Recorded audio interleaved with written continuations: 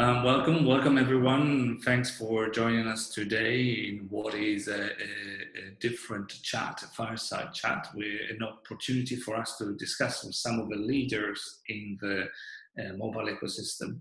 Uh, and this time we have a pleasure to talk with Anurag Lal. Um, Anurag, thank you for being here. Thanks for uh, having me. Anurag is, uh, well, a, a famous face within the mobile ecosystem within MEF has been an, a member uh, and uh, often been asked to comment on different topics. As I said today, we have a, a, different take. We have a bit more of time and we can take a, a more wider approach talking about the mobile ecosystem and not just the mobile ecosystem, if we want, mm-hmm. the regulations and everything that happens in this fantastic world. I also like to remember to people what um, Anurag does. You are the president and CEO of Infinite Convergence, previously also working as some of the big names in the industry, whether been Sprint, BT, iPass, uh, to, to mention some, and your leadership over 25 years in uh, mobile technology, software as a service. Am I missing something, Anurag? Tell me. No, I think I think you've covered that quite well, Dario. I appreciate that introduction, and uh, uh, you're being too kind uh, talking about my experience and uh, my, my know-how and my positioning in the industry. But uh, yes, I have been in the industry for a while. It's given me an opportunity to look at uh, a wide-ranging set of uh, challenges, everything from software to platforms to services, and also gave me an opportunity to be part of a regulatory thought process too when I had a chance to work with the FCC as part of the National Broadband Task Force. So yes, so a, a, a good varied experience uh, across the globe. So happy to provide you my perspective from that from that side. Perfect and perfect, and, and thanks for reminding us that you you've been appointed by the Obama administration uh, in uh, under the FCC as a director of the U.S. National Broadband Task Force. So my first question is really about that. Um, it would be what, what what did you get to understand and about the, the regulation of the fixed, first of all, fixed work, but also of the, the mobile work. What is uh, broadband today and what is missing in the, in the broadband work? Sure. No, that's a great question. And, and to, just to give you a perspective about the, the broadband task force, that was actually mandated by President Obama. He had made an election promise uh, to go out and make sure that broadband availability, both wireline and wireless broadband, was made an important part of his telecommunications policy. And so the task force was actually set up to understand and, um, realize um, all the challenges that existed in the availability of broadband across the board and see how those could be overcome to ensure that broadband was more available across the US economy. And, and there was a very strong belief that broadband availability had a direct linkage uh, to the competitive nature of an economy. And the US, over, the, over a period of time, had kind of fallen behind. And President Obama wanted to make sure that we put that back on the front burner again and push that availability back up. So, as part of that task force, we looked at every aspect of technology, broadband connectivity technology, whether that be uh, cable, uh, wired broadband, uh, wireless broadband, and in all its forms, including satellite.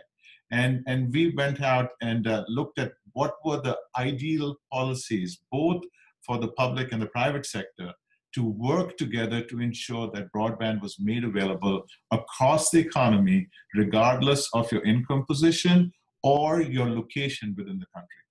And as I'm sure you appreciate, um, the United States is a very large ge- geography, right? And to deploy technology to have ubiquitous broadband coverage across that geography is expensive and time consuming. And so we wanted to maximize that opportunity and provide guidance to the industry to go out and make sure that they went out and deployed aggressively. Um, I think the benefits of that uh, uh, task force have been numerous, uh, and I think it was great work. My particular opportunity within the task force to really to go out and look at other economies that had done a great job of making broadband a very important aspect of their um, their their economy, right? And so we looked at the Nordics. The Nordics have always been leading with regards to broadband availability. We looked at you know countries like uh, South Korea. We looked at uh, Japan. We looked at uh, Singapore, And we tried to learn from them as well because we didn't want to reinvent the wheel. Uh, and now, if you look back, uh, and I'm not trying to take credit for the position the US has with regards to broadband availability, but if you now take a look, uh, I think the US is very well positioned with regards to 4G wireless availability, right? Uh, they are, uh, have aggressively deployed it and they continue to extend the, the, the, the reach of that network. We also have very good broadband uh, availability from a wireline perspective too. We've also got a bunch of different ways that broadband is being made available for the economic part of uh, the United States that may not afford, uh, may not be able to afford uh, broadband itself. So I think if you look at the work done and the progress that's been made, I think the task force uh, established a good uh, baseline.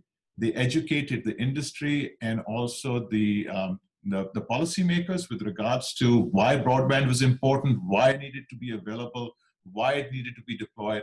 And I think progress has been made. Uh, and I think the benefits of that progress are obviously evident uh, to, to the people at large. So let me ask you now as well. there was true for the US. You, you look outside, you brought some interesting uh, ideas to the US a few years later, are you looking at some other of the parts of the world, and I'm looking at both of the emerging as well as mature markets, where are still missing some of this learning, something that could still be done globally um, to improve the availability of the broadband services across the different parts of the, of the, uh, of the consumer.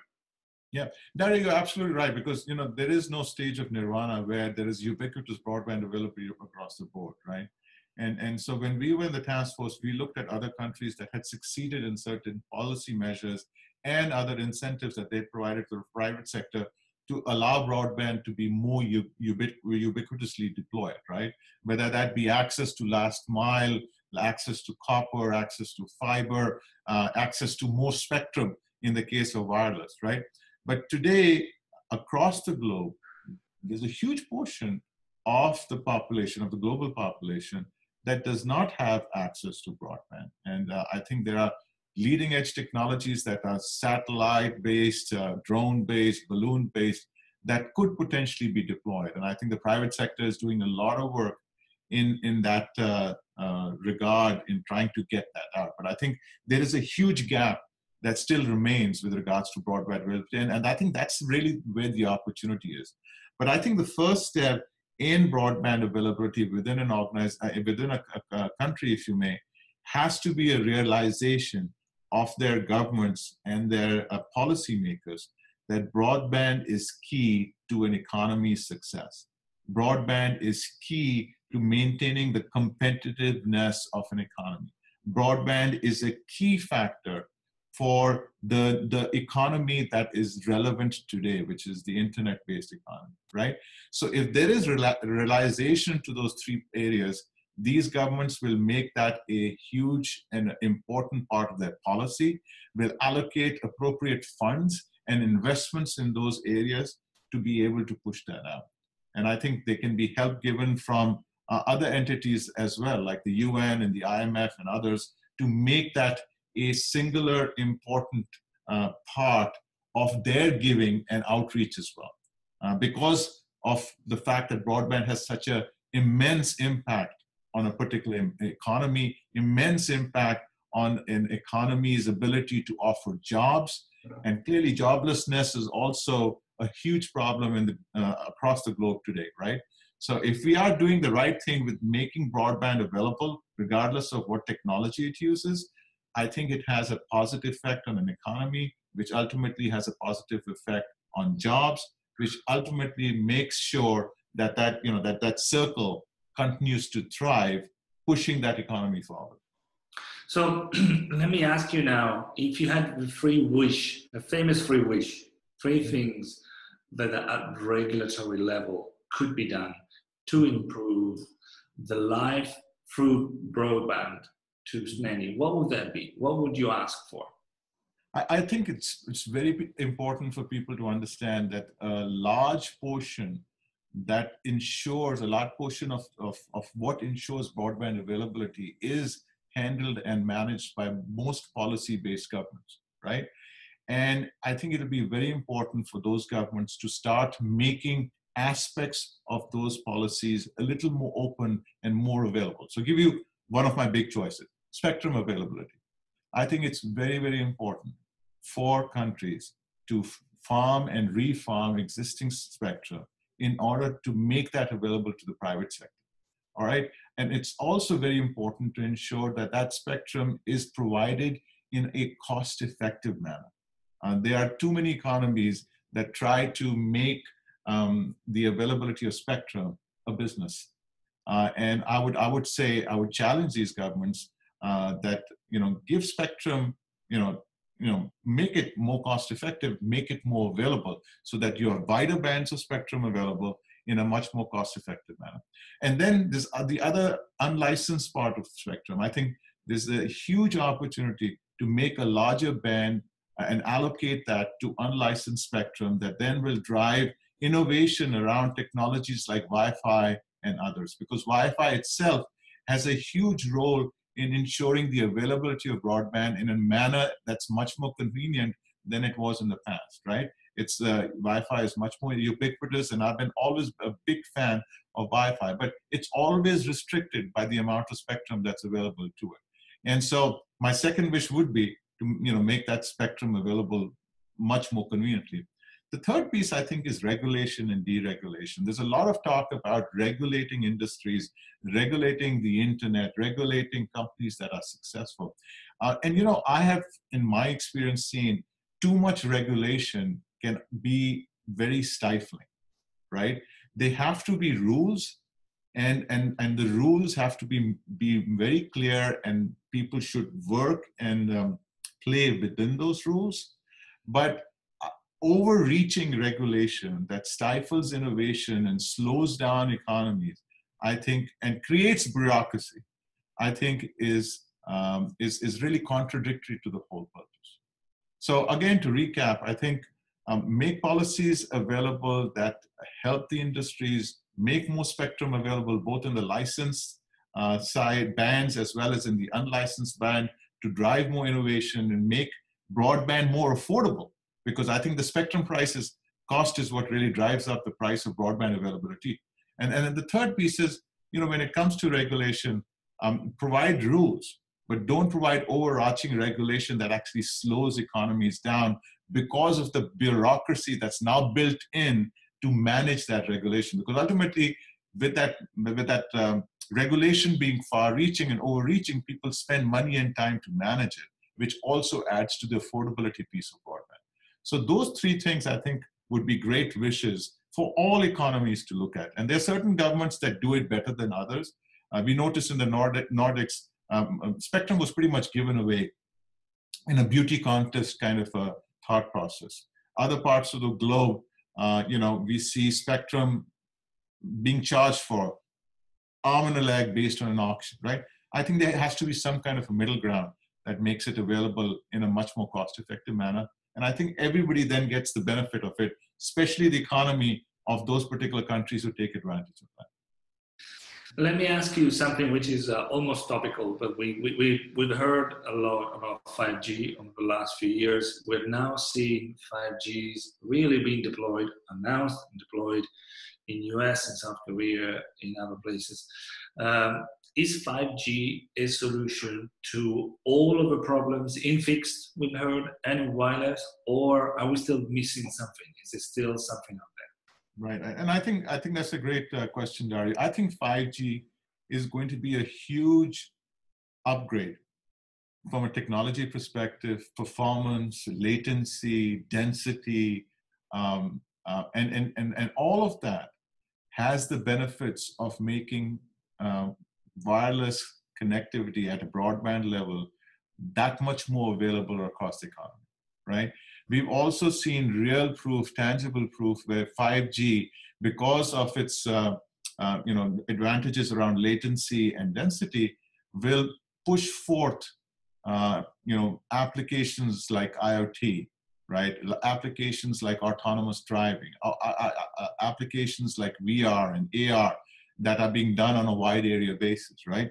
Um, all of those advantages are going to be reflected in, in the economy. I, I think 5G is going to be uh, an excellent uh, thought process when it comes to an economy and its ability, ability to be more competitive and its ability to drive additional applications and opportunities for within the economy. That being said, 5G is not a silver bullet. Ultimately, you will still have to get spectrum. You will still have to be able to invest in technology to deploy those networks.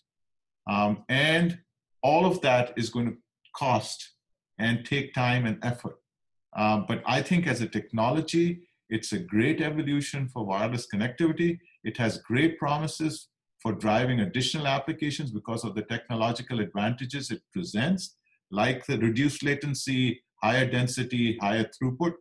Uh, and all of that can be taken advantage of and will be taken advantage of by economies and countries who aggressively go out and deploy those networks. So I think I think it's a great thing, but definitely not a silver bullet.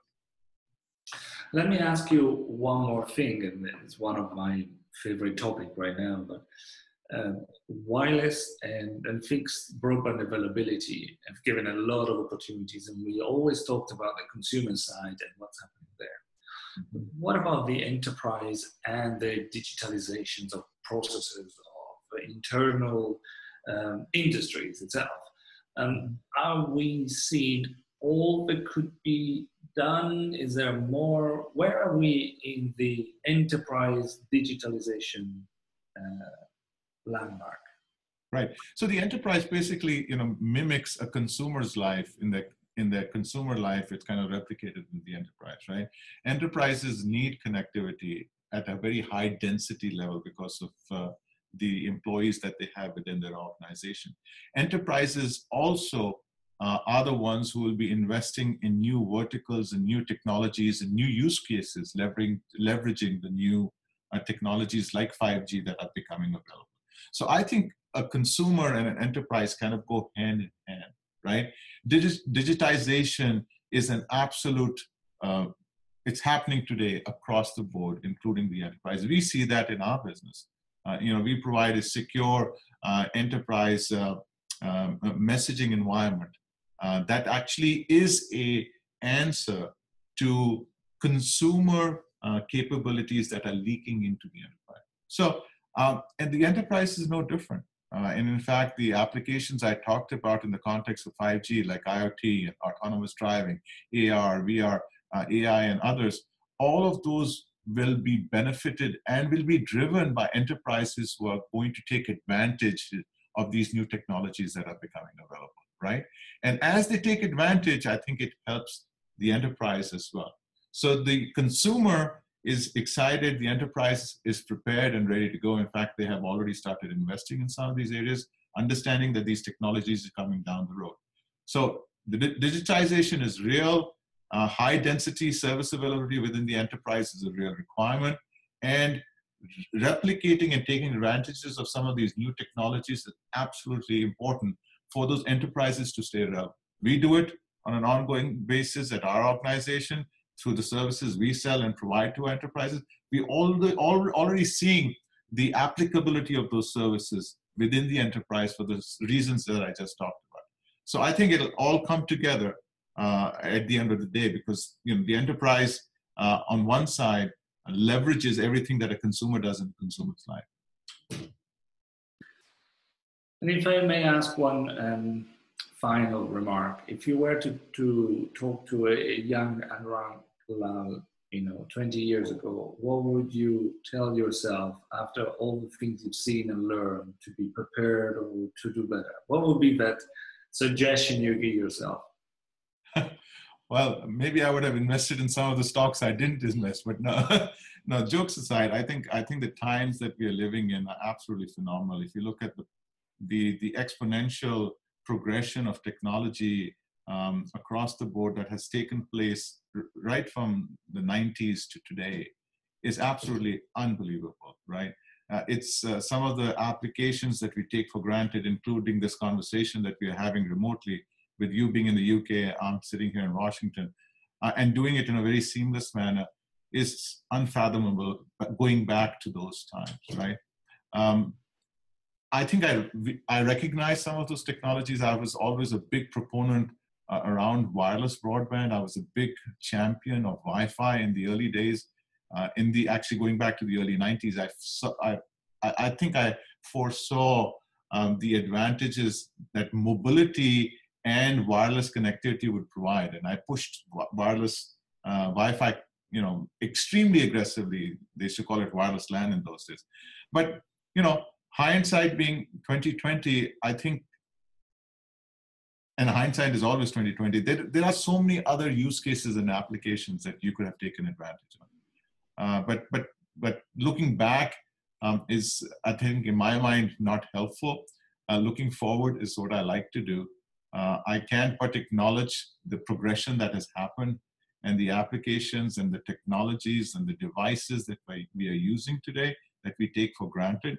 Uh, but uh, but I, I, i'm just excited and looking forward uh, to the next few years because I think the pace of uh, innovation based on all these new technologies like 5G and others is going to uh, increase exponentially and giving birth to technologies, applications, use cases, and conveniences that we today can't fathom. And I'm looking forward to that because I think it'll be an exciting time. And I'm happy to be part of this uh, exciting and happening industry, if you may. Thank you, Anurag. Thanks again. Thanks for this chat. And I hope we'll have a chance to continue our discussion very soon on the Mobile Ecosystem Forum or somewhere else. Thank you. Thank you, Dario. Thank you for taking the time. I really appreciate it.